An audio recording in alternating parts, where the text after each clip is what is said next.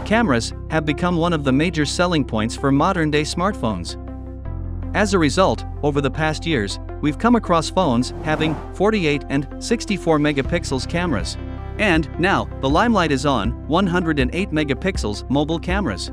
On the other hand, DSLR cameras come up only with 12 or 24 megapixels. This raises a doubt in our minds are smartphone cameras better than DSLRs? If you have the same doubt, keep watching this video to know the answer.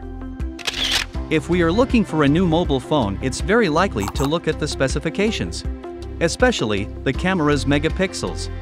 A good camera will rank high on our list of must have features. If the megapixels are high, our intuitive is the camera quality will be superior.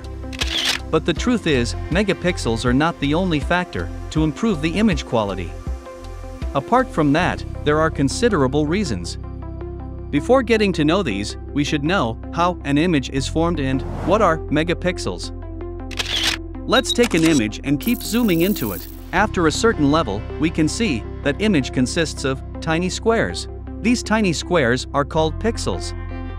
We get a clear image only when each of these pixels are combined and formed.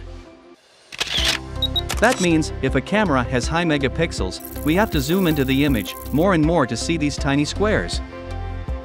For example, if we capture a photo in the size of 48 megapixels, that is combined of 48 million pixels. So, we can see this image clearly even though we zoom into a certain level and a photo captured in the size of 12 megapixels, that is combined of 12 million pixels only. Therefore, these tiny square pixels started to appear when we slightly zoom into the image. The bottom line is, more megapixels means, more information can be stored without loss. We will see detail contained is more in 48 megapixels than in 12 megapixels.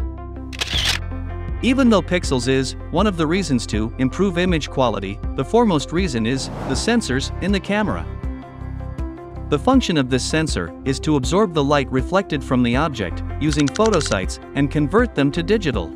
This is what we see as an image on mobile display. A typical full-frame DSLR sensor is 36 by 24 millimeters in size whereas an average smartphone sensor only measures more or less 5.5 by 4 millimeters, depending on the manufacturer.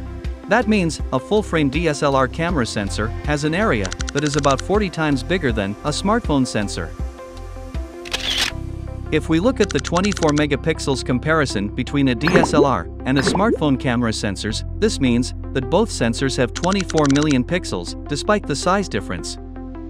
The larger sensor will have larger pixels to fill its surface area.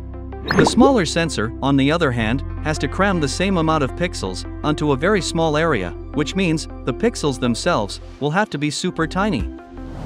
Larger pixels capture more light and are less susceptible to displaying high noise levels, therefore, producing better results than small pixels. So, even though your camera is 108 megapixels, the photo's clarity will be low when taken in low light. In order to resolve this issue, mobile manufacturers introduced something called pixel binning technology.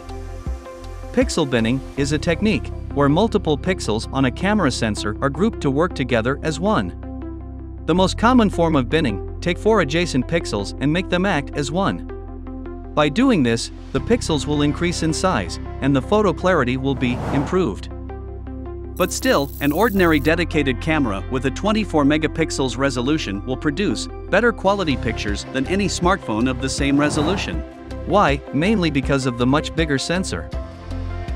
Companies like Apple and Google Pixel still do not use pixel binning technology and limited their camera resolution to 10 to 12 megapixels, as they have quite a bigger sensor and have excellent software processing which results in better image. None of this is to say that smartphone cameras are bad. Given the size limitations manufacturers are working with, they're a little short of astonishing. On the bottom line, to capture quality images, a DSLR with 12 megapixels is highly preferred rather than a phone with a 108 megapixel camera. That's all for this video folks, thank you for watching, hope you find this video useful, please consider subscribing to the channel for more informative videos.